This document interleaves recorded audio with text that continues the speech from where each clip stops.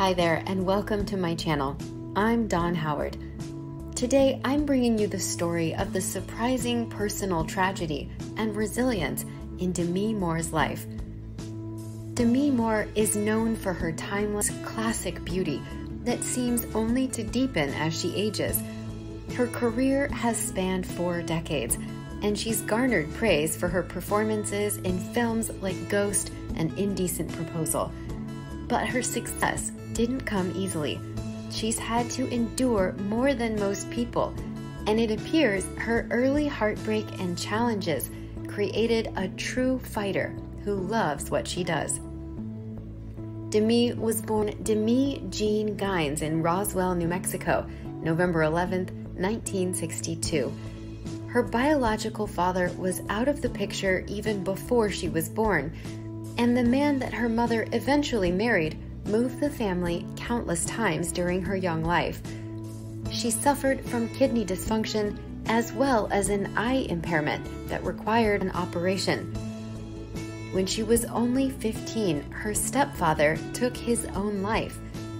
The same year, her mother allowed a man to pay for access to her teenage daughter, and Demi was raped. After this, she was on her own. She left her mother's house at age 16 and dropped out of high school. She was lucky to have been next door neighbors with German actress Natasha Kinski, who inspired Demi to seek work as a model. She was instantly bookable and began to get steady work modeling. Slowly but steadily, she began to find success in television and film roles in the early 1980s, and the beginning of the next decade, in 1990, saw her most celebrated role as Molly in Ghost. From there, her career took off, but her family troubles weren't over yet. Her mother lived an unpredictable, volatile life and was arrested for drunk driving and arson. The year that Ghost came out, Demi cut off all contact with her after she walked away from a stint at rehab that Demi paid for. In 1993, her mother posed nude and reenacted several of her daughter's famous magazine covers, as well as the love scene from Ghost. Despite the obvious humiliation and anger this likely caused, Demi was finally able to forgive her mother, and they reconciled just before she passed away from cancer in 1998. Demi would have one more heartbreak in store, even after everything she'd been through. After her marriage to Bruce Willis ended amicably, she fell in love with Ashton Kutcher and became pregnant. Tragically, she lost the baby six months into the pregnancy, which must have been absolutely devastating. While she and Ashton wound up tying the knot, their marriage was over a little more than five years later. Despite, or perhaps inspired by her hardships, Demi has been committed to philanthropy throughout her long career.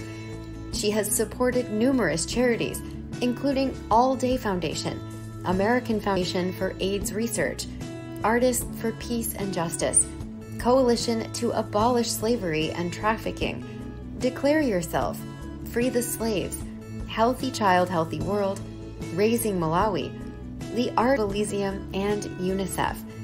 She traveled to Haiti with the Artists for Peace and Justice following the earthquake of 2010. In 2009, with the help of her then husband Ashton Kutcher, she started the DNA Foundation, a nonprofit that fights child sexual slavery. Today, her more than 2 million Instagram followers enjoy her candid and authentic representations of a simple life in rural Idaho with her adult children she's a role model to many, especially victims of sexual violence.